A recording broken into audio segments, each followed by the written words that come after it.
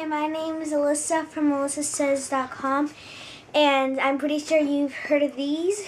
Dye, you paint the animals.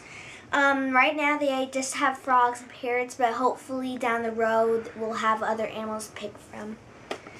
So I'm going to paint this frog, but it's not going to be the whole video. I'm just going to make two parts of it.